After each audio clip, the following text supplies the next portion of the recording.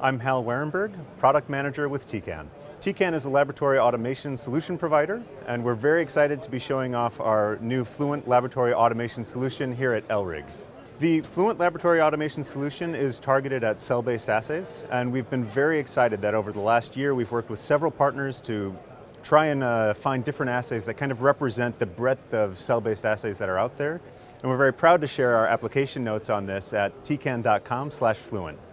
This platform is a platform that should be very approachable for an operator and also for our high-end users and for people who really are looking for the power of automation, it's got a lot of reliability and some incredible speed. So one of the first key features is our touchscreen.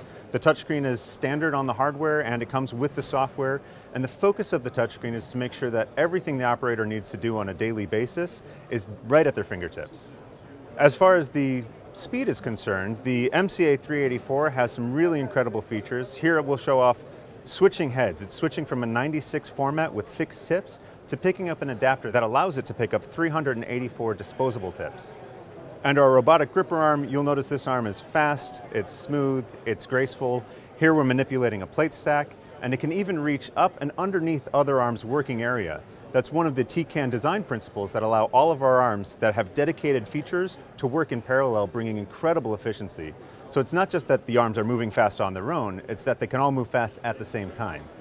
All of these features together are going to bring an incredible benefit to our customers and to scientists working on cell-based assays. The usability for the people who are dealing with the instrument every day is going to make it very approachable, very fun to use. And the robustness and the speed and the throughput coupled with the accuracy and precision of our pipetting arms and the mechanical precision, are going to bring some really incredible results to the uh, scientific community and especially within the cell-based assays.